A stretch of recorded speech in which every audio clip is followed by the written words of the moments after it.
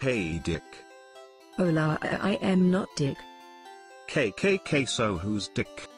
I am not Dick, that's for sure. Wow. I am also not Dick.